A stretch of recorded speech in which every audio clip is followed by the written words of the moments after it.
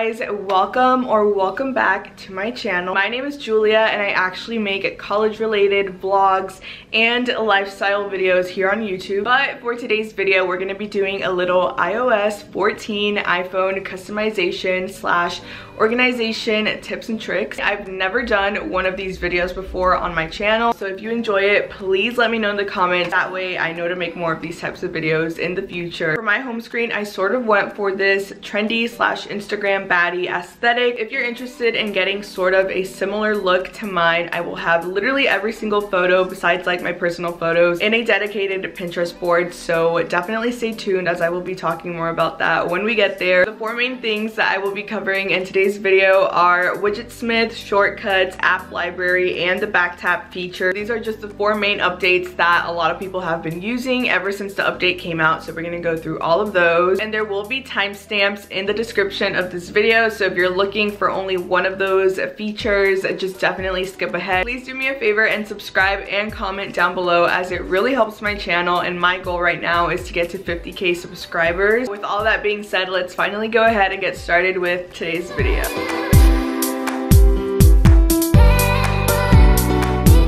First things first, you're obviously gonna wanna have both Widgetsmith and the Shortcuts app downloaded onto your phone. Obviously, both apps are completely free and you could go ahead and find them in the App Store. I had to go back and re-download Shortcuts because this is an app that I had gotten rid of like a long time ago. You're also gonna wanna go ahead and already have some photos on your gallery of pictures that you wanna use like in your homepage. Like I said earlier, I do have a Pinterest board with every photo that I pretty much used. I will have my username on the screen for Pinterest and I'll also put like a screenshot of what the board is called. Instagram is another great place to find trendy and aesthetic photos. I had so many photos already saved from either bloggers or even from like clothing boutiques or online stores. They have so many cute like filler photos that you could just screenshot and use. I really recommend looking at Princess Polly's Instagram feed. They have so many cute trendy photos and they're always like posting more and more photos. So I definitely recommend them. Not sponsored or anything like that. I just I don't know, they just have cute photos. Pinterest also has so many good quotes as well, so I recommend that too. And then the last thing to do before we get started is just to have a very simplistic, minimal background. Obviously, we're already gonna have so many widgets and app covers on our phone by the end of this, so make sure to keep your home screen background just very simple and minimal. I know I just did a simple light pink background with sort of like these white stars that I found on Pinterest, so again, I will have it in that one folder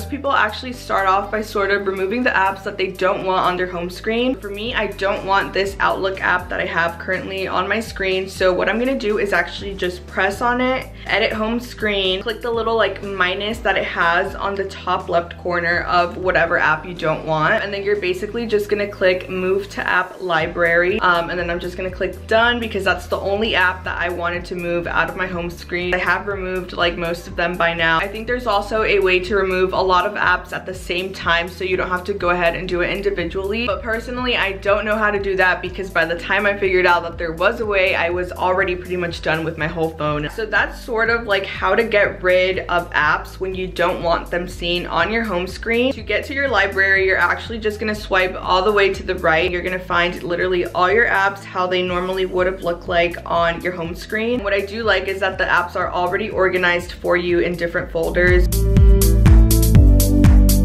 the next thing that I'm gonna run over is how to create this little calendar widget. Obviously, you're gonna wanna have the Widgetsmith app already downloaded onto your phone. You're gonna wanna go ahead and click on it, and as you could tell, I already sort of experimented with so many widgets. So these first four options were the ones that I tried out, but I really ended up loving the second option, which is the pale pink slash pink color, and it just has like this white border. We're gonna go ahead and come all the way down to where it says add small widget, and as you guys could tell, it just popped up this little small number 11 widget. So we're gonna click on that. We're gonna click on tap to rename. So we're gonna rename it. I actually recommend renaming it into what it actually is. So I'm gonna rename this one just like testing calendar because this isn't the calendar that I actually want to keep. It's just like a test calendar. Instead of using numbers, it's honestly so much more easier when you use like what it actually is. And then we're going to go ahead and click on default widget. And as you could tell, it brought me to this page. Feel free to take the time to look through all these options. They literally have so many things you could add as a widget. But for today's video, we're going to be doing the one under the date section. And it's the one that says month and date. So that's the one that I chose. And then for font, I just went ahead and did the New York one because I really like that one the best. For tint color, I believe I just left it in white. So we're just gonna leave that in white. And then for background color, as you could tell, they have so many colors to choose from. And the one that I selected was this pale pink color, but I think for right now, I'm gonna go ahead and just use a different one just so there could be a contrast. When you're done sort of customizing your calendar, you're gonna go ahead and click that top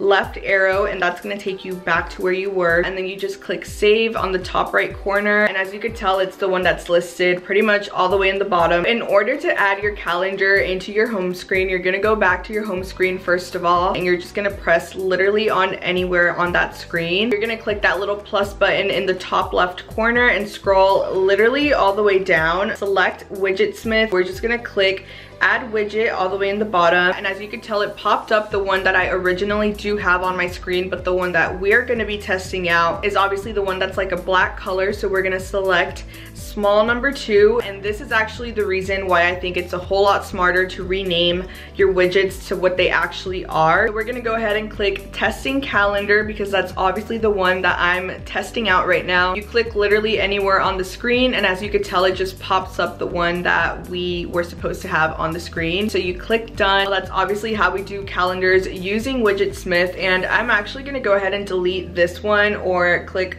remove widget just because the calendar that I had already made for my phone is this one right here. So that's the one that I decided to choose. Next up, I'm actually gonna show you guys how to do these medium-sized widgets. I just basically used this photo of some lips that I found off of Pinterest. I just thought that was so aesthetic. The one that's in the middle right here, I also did get this photo off of Pinterest. I just love the aesthetic of like the old computer background. So I just really love how that looks. In order to do these medium-sized widgets, you again, you just go back to Widgetsmith and you go all the way down past the small-sized widgets. As you guys could tell, I was experimenting with other things as well. I did a medium-sized like Bratz doll, but I just didn't love how it looked so I just went with like my other options that you see here. You're gonna click add medium widget and again it's gonna pop up a little medium sized widget all the way in the bottom and then you're gonna wanna rename it again. So tap to rename. I think I'm just gonna rename it like testing medium. You're gonna click on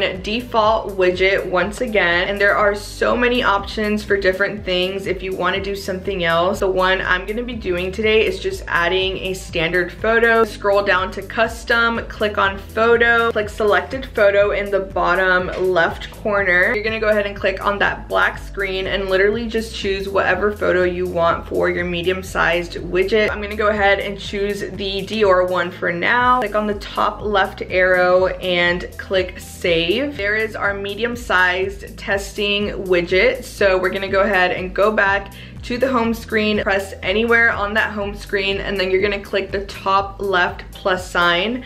Um, go all the way down to the bottom where it says Widgetsmith. This time we're actually gonna swipe to the right so that the medium widget is in the middle, and then you're gonna click Add Widget. As you can tell, it popped up a different one, so you just click anywhere on that photo, click on the name of it, and then basically just click on your desired widget. So mine was testing medium. Click anywhere on that screen and as you could tell it just changed into the Dior one. That one actually does look really aesthetic but I really don't want to add too many widgets or else there's going to be like too much going on. So I'm to go ahead and remove it. Next up, we're actually gonna go ahead and do app covers. My app covers literally have anything from like Euphoria to Madison Beer to fashion. On this page, I have Kendall Jenner, Alexa Demie. I'm actually gonna go ahead and do the one for Lightroom, which is why I haven't added a photo to that one yet. We're gonna go ahead and go into the app shortcuts. I don't have one for Lightroom yet, so we're gonna go all the way to the top. We're gonna click on that little plus sign in the top right corner. You're gonna select add option and then you're gonna gonna select scripting, click on open app, and then right there where it says choose, you're gonna go ahead and look for the app that you're looking for. So for me, it's Lightroom. Click the three little dots in the top right corner, shortcut name. For the shortcut name, I'm just gonna put in what I want it to appear as. I just went ahead and put Lightroom in all lowercase just because that's the aesthetic I'm going for. You're gonna click add to home screen. To actually add the photo, you're gonna click on the icon in the bottom and then you're gonna click on choose photo. You could literally choose any photo in your gallery. I'm gonna go ahead and do the top middle one just because I wanna add more fashion things in there. And as you can tell, I actually screenshotted this photo off of Princess Polly's Instagram. I'm telling you, they have so many cute photos that you could use. We're gonna go ahead and click choose in the bottom right corner. And then you're gonna go ahead and click add in the top right corner and then click done as well and then done once again. And as you can tell, Lightroom now appears as one of the shortcuts. So that's how you know that you did it the right way. You're gonna go ahead and go back to your home screen and as you can tell right under shortcuts, it says Lightroom with the photo that I wanted it to be. I'm gonna go ahead and do a little quick montage of how I sort of reorganize and finalize this page right here. Montage starting now.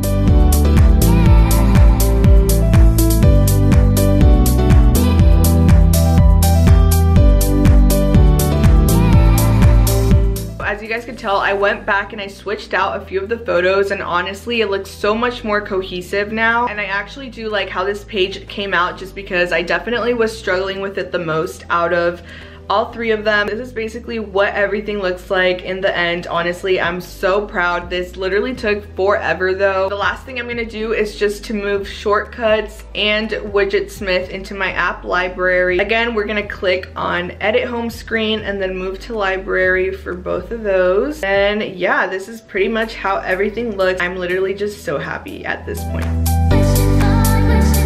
last thing we're gonna do is the back tap feature and I actually haven't tried this out yet so I'm so interested to see how this works. We're gonna go ahead and start off by going into settings and then we're gonna scroll down to accessibility. Once we're there we're gonna go into touch and then scroll all the way down until you see back tap. There's two features so there's the double tap and then the triple tap option and I'm actually gonna be using both of these just because I'm really interested to see how they work. For option one I'm gonna go ahead and do screenshot just because I literally take so many screenshots. It's not even funny. And then we're gonna go back. And then for triple tap, we're gonna go ahead and do YouTube because I honestly just stay on YouTube. So yeah, there we go. It's all the way in the bottom. I'm pretty sure it should work now. So we're gonna go ahead and tap it twice in the back and see if it does take a screenshot. So one, two.